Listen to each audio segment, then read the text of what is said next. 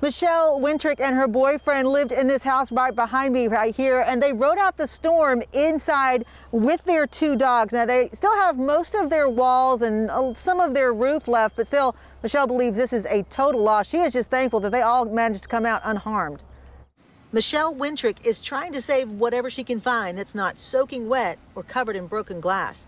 She's still reeling from what she, her boyfriend, and two dogs survived Monday night. My boyfriend Aaron just grabbed my one dog and threw him in the bathroom. He turned to look at us in the doorway, but the door slammed shut, and that's when the building, like our house, was actually hit, and the doors slammed shut, the windows busted in. This was a new and frightening experience for the Florida native who's only lived in Alabama for a year. I've definitely experienced hurricanes before, but I will tell you nothing prepared me for what happened. Like it was like literally it's windy outside, a tree might fall down to like the windows imploding, doors slamming, the pressure changing, like house getting ripped apart, crazy. Even with all this damage, she feels fortunate. We have a good part of our house still standing where we have neighbors whose homes are completely flattened. So um, we've been very blessed. And thankful for the abundance of support she's getting from neighbors and strangers. The outreach of the community has been mind blowing. It's just been remarkable.